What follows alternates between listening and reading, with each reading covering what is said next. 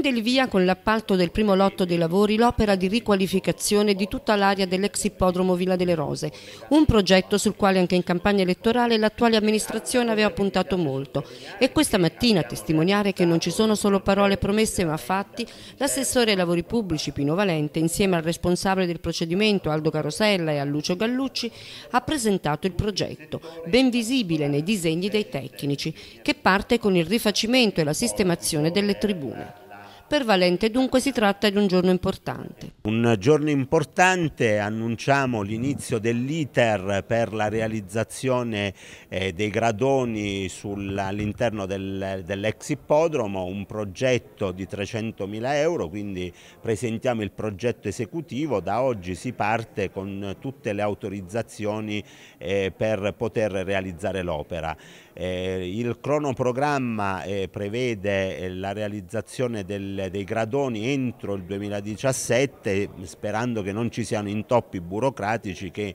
in un appalto di queste dimensioni può sempre, può sempre esserci. Eh,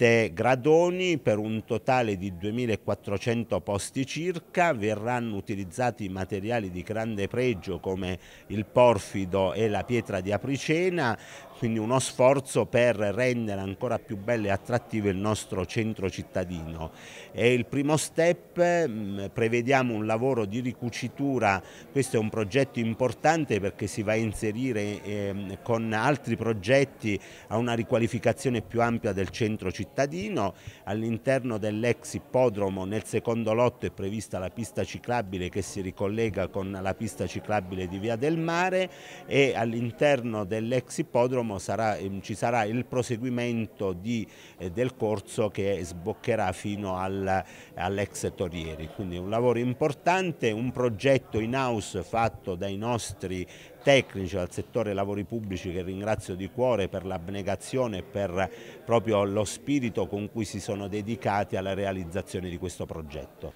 Il campo esposito per adesso in questo primo lotto non verrà toccato, è chiaro che nel secondo lotto con il proseguimento del corso all'interno del, dell'ippodromo dovrà essere spostato, però questo fa parte del secondo, del secondo lotto quando arriveranno i fondi regionali.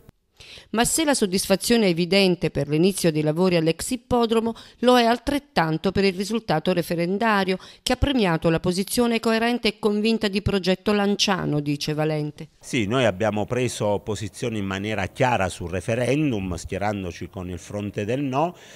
ma per un motivo molto semplice. Progetto Lanciano è un movimento civico che fa gli interessi del territorio e questa riforma andava contro i territori riaccentrando tutto a Roma e quindi eh, riproponendo una ricetta che era fallita negli, nei decenni precedenti, quindi una riforma romanocentrica che a noi non piaceva, l'errore fatto dal, dall'ex Premier Renzi di aver personalizzato una riforma che invece doveva essere spersonalizzata, per questo poi si è dovuto dimettere. Noi eh, a Lanciano abbiamo ottenuto un risultato ancora ancora migliore di quello nazionale, arrivando quasi al 67%, a dimostrazione che Lanciano è veramente la capitale dell'ambientalismo dell eh, abruzzese. Voglio ricordare che anche sul referendum delle Trivelle, tra le grandi città, Lanciano è stata l'unica ad aver superato il quorum del 50% di partecipazione, quindi una sensibilità forte su queste tematiche. Noi che siamo stati sempre in prima fila su queste battaglie siamo rimasti coerenti con, nostri, con i nostri pensieri e con il nostro agire quotidiano.